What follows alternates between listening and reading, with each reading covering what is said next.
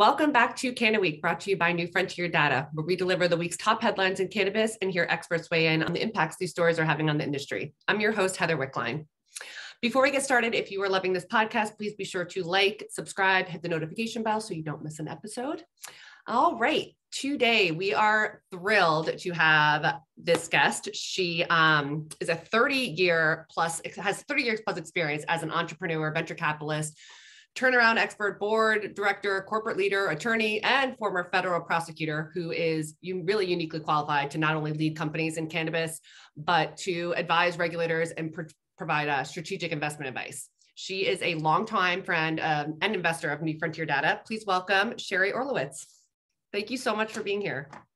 Well, thank you so much for having me, Heather and John. Appreciate it. Yes, and as always, please welcome back the leader of our amazing research team, New Frontier Data's Chief Knowledge Officer, Mr. John Kagia. Delighted to be back, Heather. Thank you for having me. Yeah, see, we're now we're all just old friends here. um, so, Sheri, talk to us. You have this, I mean, amazing career. What made you pivot to cannabis, and and when? I pivoted to cannabis in uh, 2015, and um, I live right in the line of sight of the uh, of the uh, White House. So excuse the helicopters; it's kind of cool sometimes. um, I am um, kind of a weird duck, um, a unique duck. Not a lot of women ran manufacturing companies or did leverage buyouts, and as a result of that, I had to raise a lot of capital. And a lot of women became very interested in the fact that, you know, from 93 to 2000, I raised about $100 million. I ran eight companies um, acquired and bought eight companies that um, from various uh, corporate um, entities and started a couple of businesses. And the women's movement was really interested in me. And so I became a big um, proponent of helping women to access capital. And a woman came up to me and told her daughter wanted to expand her landscape business. And could I help her raise five to eight million dollars? And I said, That is just right up my bailiwick. That sounds terrific. Have her call me. And uh, P.S., she called me three weeks before the application from Mar- for Maryland in 2015 was due. Lovely girl. We talked. I shut down all my other business. My team went and worked on it for three weeks straight, and they actually won the license. And I had never had anything to do with the industry before on that side, but I was a federal prosecutor who worked with these laws quite um, frequently for a couple of years. Amazing. And you are the founder and board chair uh, for the Council for Federal Cannabis Regulation, uh, CFCR, which I normally refer to it. Tell us a little bit about what you're doing and you know how you got involved in this. Love to. Thank you. Um, CFCR is a independent nonprofit and its goal is to see that the the way I sort of say it as the dreams contained in legislation actually hold true in practice and that is all dependent on the regulations and one of the things um, I learned as a regulatory lawyer for the United States is the um, real uh, nitty gritty is in the regulations. How this industry will develop is in the regulations. And the federal agencies uh, needed someone, in my opinion, to um, to share education with them um, and to help to destigmatize the industry in their eyes, because those of us over 40 grew up with the evil weed, and it is always there looming in the subconscious of most people's minds. And no one was focusing on that area at all. And in um, my experience, the difference between an and and an or in regulation could change an entire industry. So I believe we have first I believe I had, and my team has the ability, almost like Navy SEALs, to figure where the most um, impactful place we can weigh in with the federal agencies. And right now, the gatekeeper is the FDA. And so our focus is the FDA. We have a science and regulatory affairs team of six to eight people at any given time. Um, our scientists are mainstays, and we have associates that rotate. Um, and we really think that education is critical for both sides, both not just the uh, federal agencies, but all industry, cannabis and, and otherwise. Right. Well, we're going to definitely dig into that a little bit more um, later. But um, first, let's talk Safe Banking Act. Marijuana Moment reported marijuana banking sponsor says he is in amendment talks with Senate leader as House passes reform for the sixth time. So seems like we've been here before. Um, it's once again cleared the House, um, this time part of a larger manufacturing and innovations bill. So Sheri, is sixth time a charm? And what, if anything, is different this time? Um, I think it's crapshoot. Uh, it depends on the negotiations in conference committee, as you well know. It's a must pass bill um, that we have appended it to. And um, it really wakes up the morning of the day the vote is taken, and Mitch decides, Senator McConnell decides that it makes sense, and whoops, we have a bill. Um, it's that much of a crapshoot, in my opinion. John, what's your take on this? We've talked about this so many times. we have. And I think there's incremental gain, whether it's in the orientation around members of Congress, the, the legislative staff around what cannabis actually is.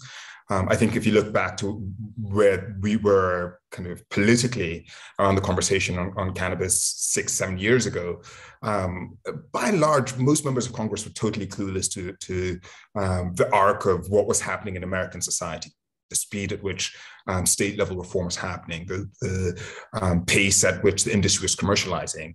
Um, now there's much, much deeper familiarity. And so with each cycle that this doesn't happen, there are more better informed, better oriented uh, uh, stakeholders around the table who, in, in many cases, are now representing um, uh, businesses, representing communities where cannabis is now legal. And so, even if it is just kind of chipping away at this massive iceberg, there's incremental progress because each time this comes up, more people uh, are, are, paying attention to it. But I completely agree with Sheri. Um, I saw a, a, release from McConnell's office where apparently he was calling it a poison pill in this must pass bill. We'll see what that means for the ability for this bill to get through this time. Um, but to me, it, it, it just further underscores this idea that this is a question of um, uh, when, not if.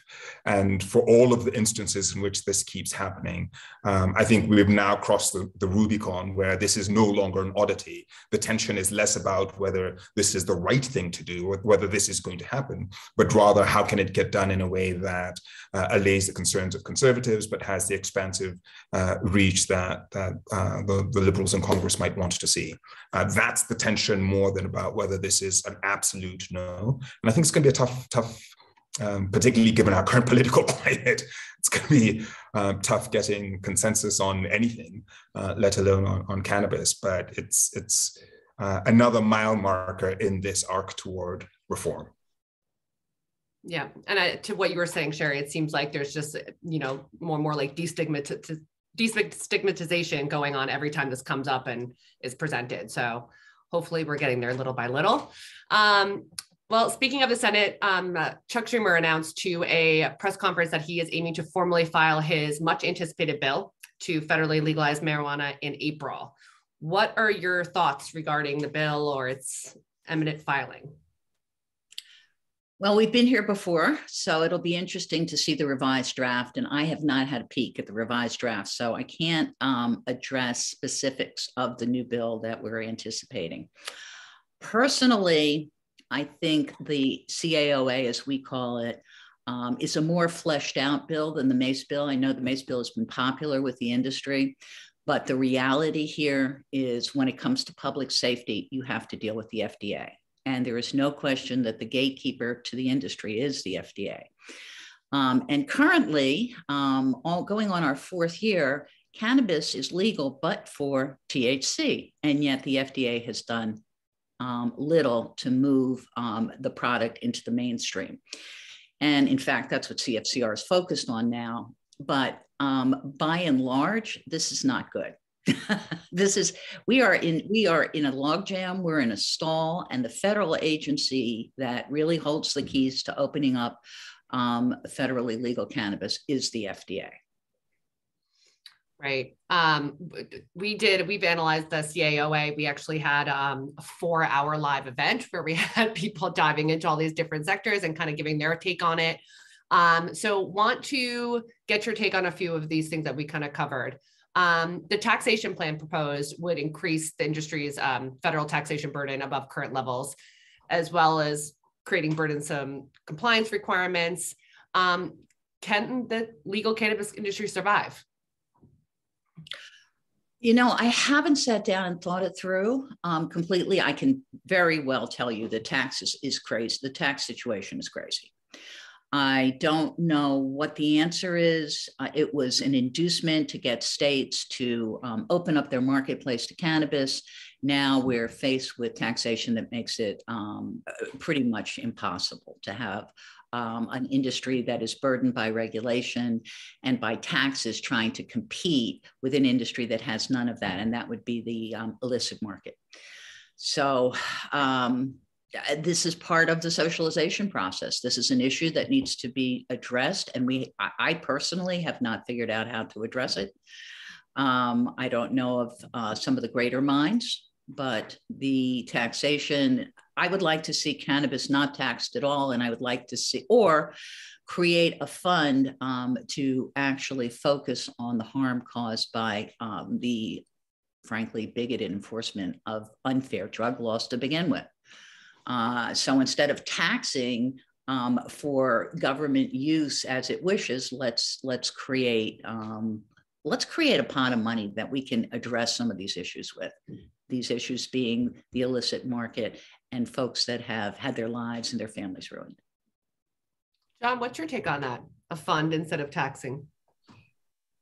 I think Sharon makes a really important point, and this is going to be one of the, the really um, contentious points of tension in in the transition to federal legalization. So, unfortunately, we've gotten the states really comfortable with how much money they can make off of this industry.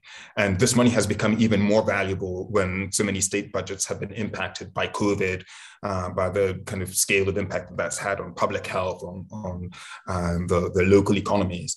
And so having them reconsider how much they are going to be collecting uh, uh, from cannabis, having them consider lower taxes, both to, to offset or be, to be more competitive against the illicit, illicit market, as well as to reduce the impact of the additional layer of federal taxation on top of the state taxes. It's going to be a really tough sell.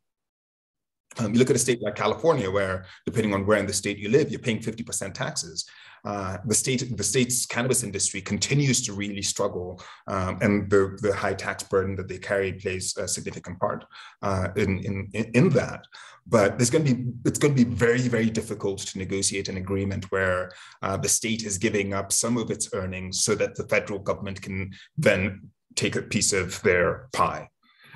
Um, the calls for the reallocation of cannabis revenue to undo, uh, to undo the gross inequities of uh, prohibition enforcement, to um, minimize the, the uh, kind of social and public health uh, risks that might come from those who might need uh, uh, support, public health support. Um, is is an ongoing debate. Some states have actually allocated a, a fair amount of their revenues toward those kind of social programs. Um, but again, for cash-strapped states who are seeing, you know, um, uh, real estate taxes fall, commercial business taxes fall, uh, and huge healthcare uh, related expense, uh, expenditures due to COVID. Um, you know, the the the idea of taking really um, necessary capital away from the general fund and allocating it to, to cannabis specific programs, um, again, becomes a tough sell in a season where uh, states are, are quite squeezed. So the, I think one of the key points to look for in the Schumer bill is going to be what is the revised proposed tax level. Um, that was probably one of the areas where there was the widest gap between what Schumer proposed versus what Mace proposed. Um, and if they're still talking about a 20 to 25% federal tax over on top of uh, state taxes, uh, then that could be, you know, that, could start to feel like a death knell for the industry, or at least make for a Herculean uh, lift to, to, for the industry to compete uh, against the illicit market. Yeah, it's certainly not, you know, business friendly. Um, Sheri, we're going to dive into FDA. So the draft legislation doesn't provide much clarity into FDA regulation of cannabis or the scope of the power to regulate the industry as a whole. Um, talk to us about this because I know you said it's it's the gatekeeper to getting this uh, through. Well, you start with the fact that the FDA has not deemed cannabis safe for the reasons, um, and you can pick a whole bunch of reasons. So, if a product isn't safe, it's not going to get into the um, general population and become a product of trade. And we need um, to get, frankly, uh, ahead of the FDA in there and uh, further conversation on what the situation is with safety. Um, we at CFCR are currently putting together a safety matrix. Um, one of our um, committee chairs uh, was a leader at the FDA, uh, a senior advisor to the administrator. And we're going to try to address the agency's concerns about safety. And if we can, then guidelines from the FDA should begin to be formulated and come out by the end of the year.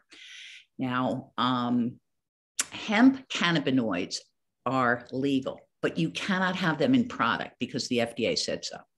And the FDA's jurisdiction comes into effect when you ship across state lines. So that's how otherwise it's up to the states and it's it's state law. So once the FDA uh, acknowledges or determines or feels there's sufficient data, always data, to approve um, CBD as a safe product, then it will start to regulate CBD and other cannabinoids. Once that happens, that is, if you will, the proverbial okay, and then other agencies can start getting involved we will talk to the uh, SBA, for example, but SBA can't begin to do anything, including making loans to people who sell, for example, any kind of cannabinoid product, even if it doesn't have THC in it. Um, so again, that's why I'm saying SBA, I mean FDA is the gatekeeper for the federal agencies. And when it comes to regulating health claims, that will be within the jurisdiction of the FDA. You want a science agency regulating health claims and regulating pharma. That's pretty much um, a, a, a, clear rule. Um, and in terms of um, THC, um, I think the government has pretty much shown us that they're comfortable with uh, TTB, which regulates alcohol, to regulate intoxicants from the cannabis plant. Makes a lot of sense to me um, a lot of questions about labeling. Um, that could be shared responsibility between TTB and um, FDA. Um, one over the other can have um, primary responsibility. But if cannabinoids are treated like vitamins and supplements, all of the regulations for vitamins and supplements would apply and make it easier to move um, cannabinoids other than THC into the um, stream of commerce.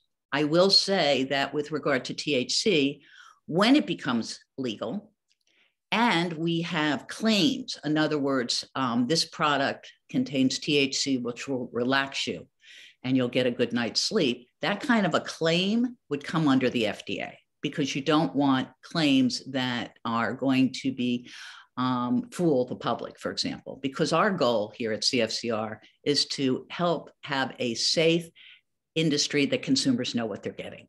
And that's part of what the FDA does. So, again, really simply, FDA claims pharmaceutical um, when THC is legal, recreational uh, or adult use, however it is called. And if a THC product wants to make a claim, then that will be um, overlooked by the FDA and determined by the FDA.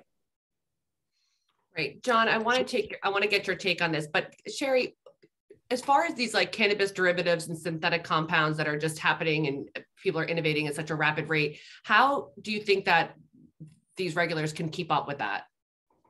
I don't think for that and that's exactly why we put that's one of the reasons we put cfcr together because it, it, i think we all can see that the regulators can't keep up. They can't keep up with enforcement. They can't keep up with understanding the new developments in the marketplace. They still think this is some kind of evil weed many of them that you know is going to make you um, do things you wouldn't do normally. So enforcement fda is using its discretionary enforcement just in terms of making sure that people are not terribly fooled by claims that say that this is going to uh, cure covid Um, but we don't have the manpower. Um, we don't have the dedication. We don't have the forces to um, to do a lot about it right now. And we need to get this chaotic market, and it extends to other alternative therapies as well. Um, and the agency just frankly needs more money because, again, no matter what, safety first for all of us. And that is the FDA's um, jurisdiction. Right. John, were you going to jump in and ask a question? Yeah, I'm actually going to have a question for Sheri. So I'm, I'm really curious about how you think the issue of smoking cannabis was going to settle in the FDA. So our data shows that not only does you know, the combustible side of this market remain about half of the products uh, that are currently being sold, and uh, there's been very strong durability on, on the combustion side. Um, you know, is this an issue? This this issue of you know the majority uh, or near majority of the product being consumed currently is being being uh, being smoked. You know, is this an issue that the FDA is going to take as a as um, addresses the broader regulatory framework, or do you think they'll they'll keep it more narrowly focused just on the cannabinoids, on the compounds, without also simultaneously addressing the ingestion mechanism? Um, you know, I'm glad you asked that question, John, because that's really difficult. We know how the FDA feels about inhalants into the lungs. Um, we don't know, and I have heard people try to tell me, and I don't know whether it's true or not, that CBD ameliorates some of the problems. So I think that is going to be a sticky wicket. Mm-hmm. I think in the um, recreational side, when THC is made legal, then I, you know, I, I think that's also going to be a sticky wicket, but I think it will end up at the um, at the um, TTB. Now, the question of whether smoking is more efficacious or vaping is more efficacious, we have no data to understand it. I know we've made claims. We have some of the scientists that have worked in this industry saying it is more efficacious, but the reality is we don't have the data to back it up. So, Heather, in answering your question, I can't tell you. All to say, it makes sense for me, recreational TTB. Um, I don't see smoking being outlawed. I don't know if it would be um, considered medicinal by the FDA, and therefore I don't think unless smoking is shown to be more efficacious, um, FDA would get involved. Other than to say we do not find this um, acceptable for over-the-counter therapeutic, pharma, anything. But th- this is a decade too early to tell. Yeah. Right. Well, speaking on just the burdensome regulations making it so hard to compete in the illicit market or with the illicit market. Uh, Sheri, what do you think lawmakers can do to mitigate this risk while we try to work towards legalization? I think we, well, here's what I think. I think that the portfolio of cannabis, I think cannabis is in the DPC's portfolio, the Domestic Policy Council, um, which is a council which advises the um, president and helps form the domestic agenda. I think what we need is um, an opportunity to have listening sessions with uh, some of the top people in the United States who make that up and um, talk about what the ramifications of all of this are and how do we handle it because this is a very complex problem. And you know, I'll give you a, a quick example of how complex I see it in DC for, for since 2014, recreational cannabis has been legal in DC, but you couldn't sell it.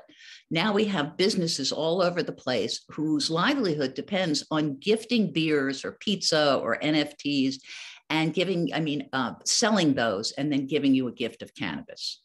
Um, and, and now they are giving out medical uh, recreational licenses in DC. And these businesses that have grown relying on the DC government to do nothing are in trouble.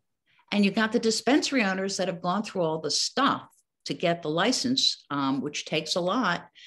And it's not fair to either side. So we really need to sit down and start coming up with some ways to deal with it. And I haven't heard of a single good one. John, your brilliant mind. Any good solutions that come to mind? It's not a solution, but I think it's an important first step. Is candidly, I think lawmakers need to spend a lot more time talking to the diversity of cannabis consumers in the country. I think there's just not yet, or, not a sufficiently good understanding of the spectrum of American society that are cannabis consumers.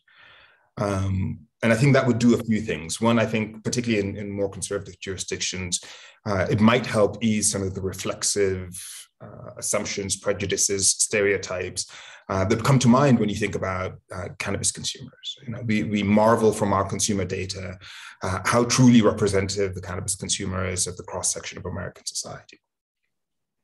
Two um, is understand the, the legacy or the long history of American use, uh, American cannabis use. Um, and so if we look back, while I do not mean to suggest at all that uh, the, the concerns about public health are unfounded, it's, it's absolutely critical that there's robust framework to, to consider public health um, as we as we build a national framework for cannabis regulation in, in, in the country. But I think it's also really important to understand that this plant, this you know, uh, cannabis as a, as a drug didn't just magically appear a couple of years ago, it didn't magically appear in 2014. Um, it has been present and deeply embedded in American society for a very long time. And so, in some respects, some of the fears that um, have proven to be uh, very robust hurdles to overcome toward uh, advancing a regulatory framework um, might actually be allayed if you understand that the people who you're worried about have actually been consuming for the past 20, 30 years and aren't manifesting the, uh, the, the, responses, uh, whether physiologically, mentally, socially, uh, that, that are driving some of the concerns in, in advancing policymaking. Um, I think the, the kind of a deeper understanding of um, the how deeply ingrained uh, cannabis has been in our society and and who the consumer is uh, will lead to a much better informed conversation about um, who this is implicating, the scale of opportunity it, it presents, uh, the relative harms, certainly compared to, to alcohol and, uh, and tobacco. Um, and hopefully then we can have a reasoned, uh, slightly more prejudice-free or stereotype-free uh, discussion about a viable policy framework for such a complex issue. Right it's uh well then we'll have to send them our cannabis consumer report that's coming out in april and just give them an idea give them an idea of you know the diversity there. Um, you know it's also inf- unfortunate just because we've been i just saw recently um, i guess Weedmaps submitted a commercial for the super bowl that got rejected this year. Um, and it made me kind of look back at some of the past years that were also rejected. And there's I mean, there's some powerful, and it, it's not necessarily an ad for cannabis, but maybe just advocacy and education and learning about how medical cannabis affects patients of all ages and races. And it's it, it was really, really quite powerful. So it's unfortunate that we can't put those on those platforms to, you know, enlighten more people. Um, well, we touched on this a little bit, Sheri. Um, the Republican um, uh, Representative Nancy Mace of South Carolina. So do you think that like between these two bills, is there a potential to like bridge the partisan gap or how, how can, do you think there's any kind of compromise between the two? You know, it's funny. I don't see them so differently. I where I do see a big difference is the taxation portion of it. Yeah, and that's major. Mm-hmm.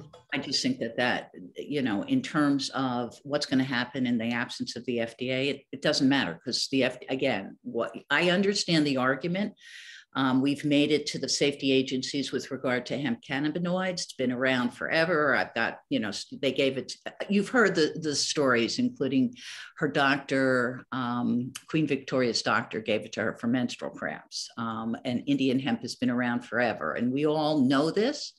Um, but that many people have tried to make that argument to many of the safety agencies. It hasn't worked. I agree with you, John, but it is not um, what you call scientific data. Mm-hmm. Um, so I, I, may have missed answering your question because I was sort of um, going back to what John said. Would you um, would you want to clarify, or have I answered? no, I think. I mean, I I just think that there.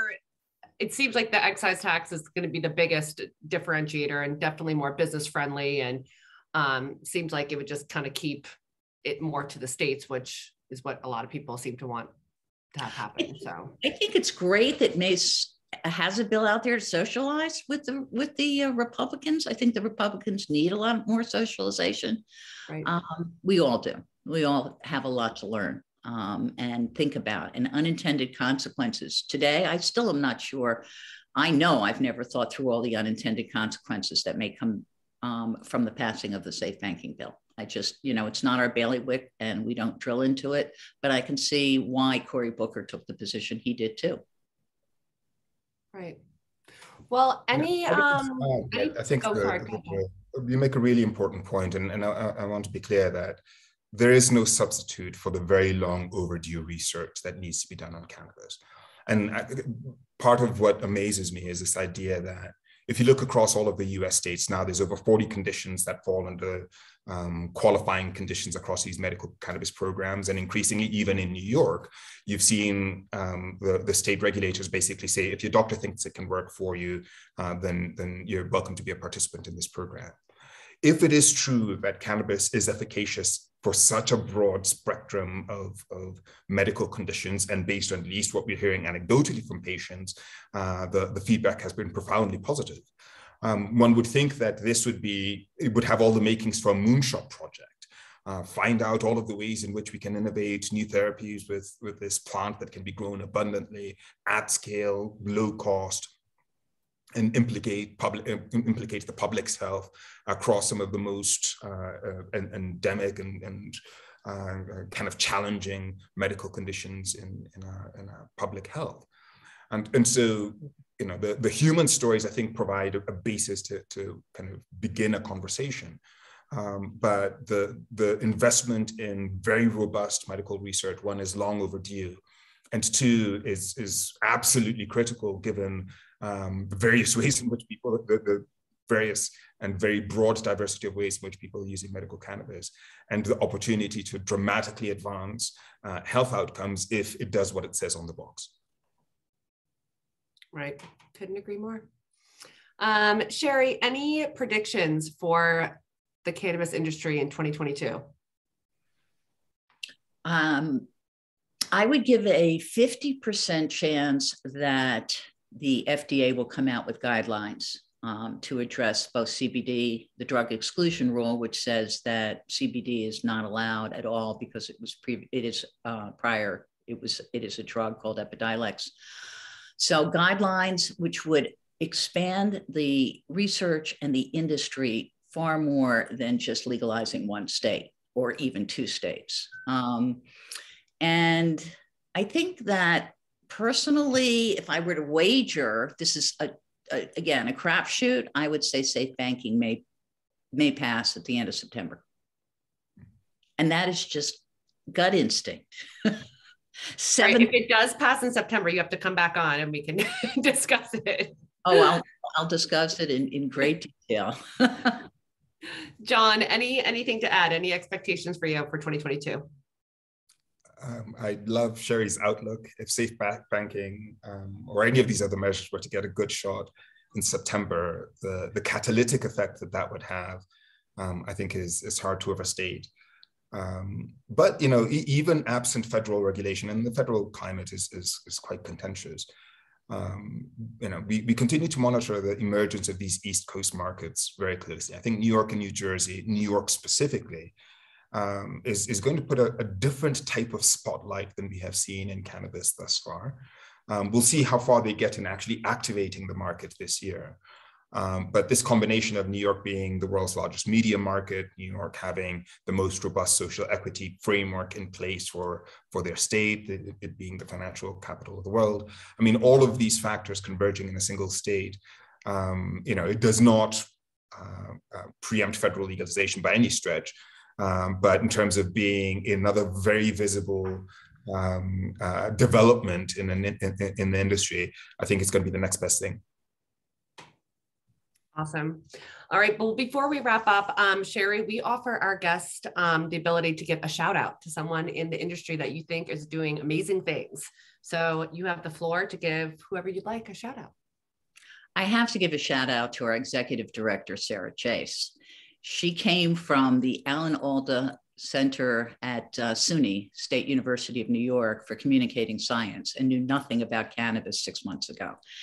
Um, granted, she had an incredible education putting together the communication center in so, at SUNY um, and working with Alan Alda. And this job was just amazing, what she has been able to do, the things she's, the relationships, the partnerships. Um, Sarah Chase, big shout out to you. You have been sensational, and we all thank you for the progress you have helped us to make. That's wonderful. She's lovely. I had a chance to meet her in uh, Vegas at um, MJ Biz. So it was great. She's great. All right. Well, thank you both so much for your time. And thank you to our listeners for joining us at CannaWeek. Please be sure to like, subscribe, hit the notification bell. And if you really like us, leave us a five star review. And you can check out, if you have four hours to kill, our uh, CAOA uh, recording uh, by visiting newfrontierdata.com backslash cannabis dash events. I am your host, Heather Wickline, and we will see you next time.